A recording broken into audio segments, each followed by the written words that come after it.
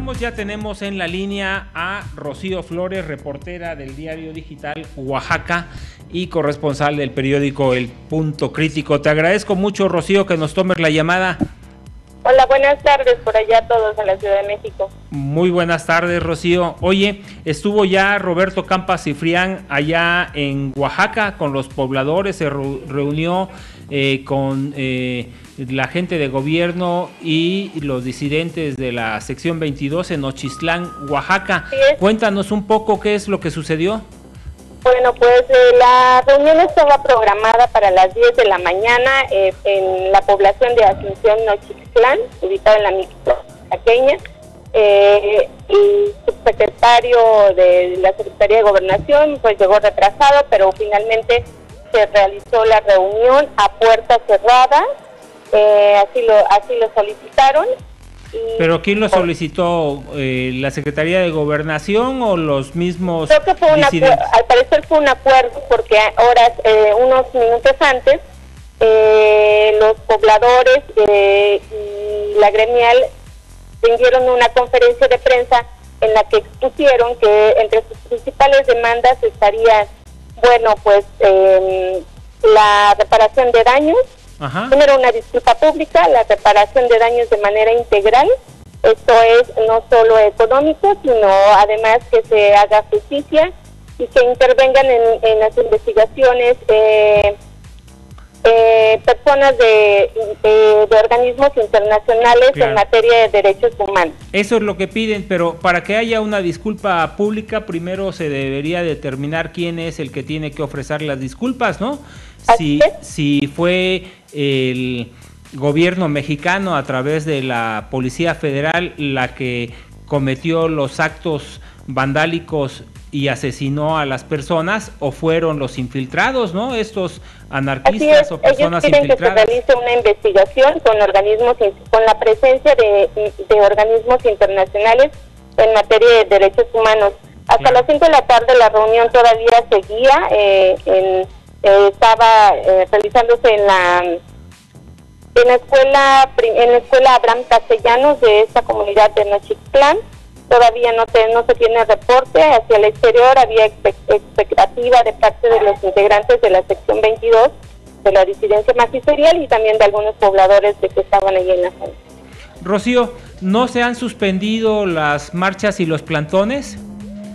Eh, marchas no ha habido, este lo que sí permanece es el plantón que está en el Zócalo Capitalino y algunos bloqueos. Ayer todavía había algunos bloqueos, bloqueos en, este, en algunos centros comerciales, principalmente de cadenas nacionales. Ahora bien, ¿no sabes por qué no se dio esta eh, reunión de manera abierta como se había ofrecido, en la que iban a poder estar presentes los medios de comunicación para dar cuenta de lo que ahí se tratara? Desconocemos hasta el momento esta información, solo fue la indicación, incluso a, a todos los, este, a las personas que acudían al lugar, eh, les pedían ser identificados porque temen que haya algún infiltrado o algo así. Yo creo, creemos que por cuestiones de, de seguridad, sin embargo, no, no hay nada al respecto. Estamos esperando que se ofrezca alguna conferencia de prensa, se emitan algunos resultados, se den algunas declaraciones de parte de ambos, este, pues ambos integrantes ¿no? de, de esta mesa de diálogo. Claro, el día de ayer eh, Andrés Manuel López Obrador subió un video donde llama al diálogo al gobierno federal y a los disidentes, de la sección 22 y la CENTE pero también hace las amenazas eh, de que continuarán con, los paros. Por parte de Morena seguirán ah, haciendo presión. ¿Qué sentimiento es el que hay en la población de Nochistlán, ahí en, Oaxaca, en la capital del estado, eh, de parte de los ciudadanos, de los oaxaqueños y también de los disidentes?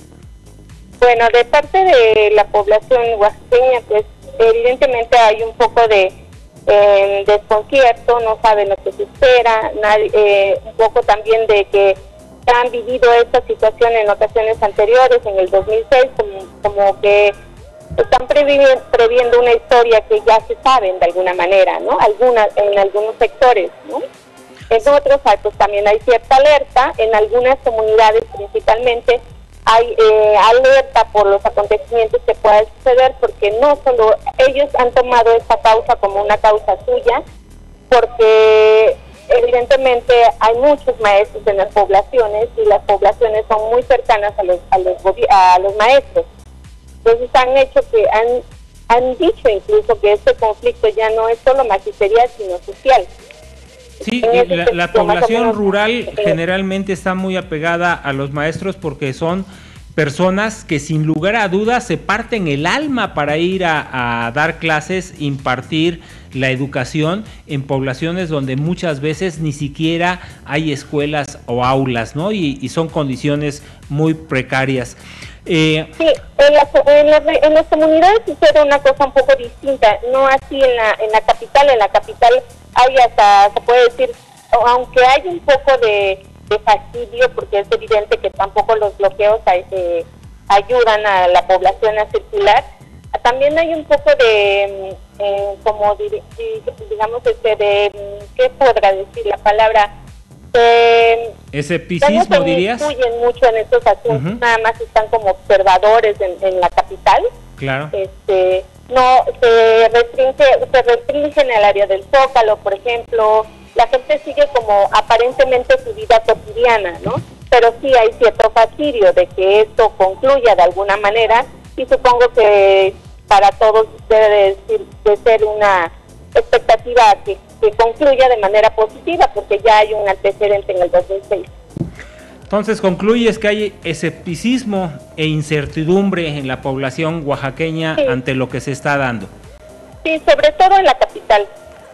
Bien, Aquí en la Ciudad de México, en esta gran capital de la República Mexicana, el día de hoy se suspendieron los plantones y las marchas debido a que los maestros ya iban a caer en su tercer día consecutivo de faltas y los podrían dar de baja.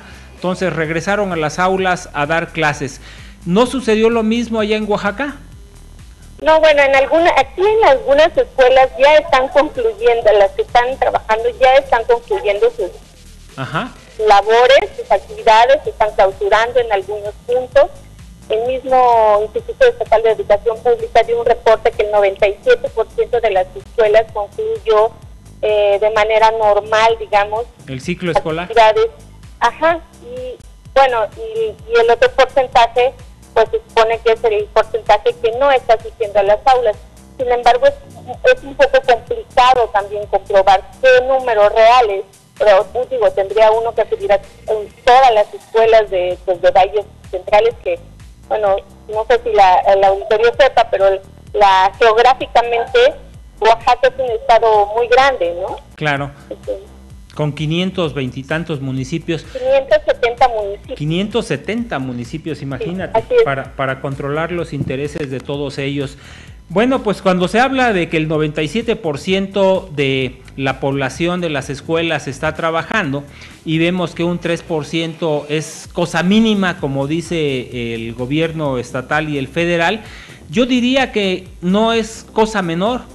No solo el 3%, con un 1% o un 0.05% de la población que manifiesta inconformidad, el gobierno y el Estado está obligado a resolver las dudas y los problemas de todos los ciudadanos. Ojalá que este conflicto se resuelva por la vía pacífica, por medio del diálogo y evitamos, evitemos ya esta presión ancestral que se tiene en Oaxaca de más de 50 años que yo recuerde que se ha vivido con la misma situación y con la misma zozobra. Rocío Flores, reportera del diario digital allá en Oaxaca, te agradezco infinitamente que nos hayas hecho el favor de compartir la información, pero sobre todo tus comentarios. Al contrario, gracias. Estamos a la expectativa de saber qué acordó, qué acordaron en esta reunión de trabajo del secretario del, secretario Campasicanda ahí en, en Oaxaca. Ahí estaremos al pendiente de tu reporte. Muchas gracias. Es Rocío Flores, reportera del diario digital de Oaxaca y colaboradora también del periódico El Punto Crítico. Nos vamos a Economía y Finanzas. Economía y Finanzas.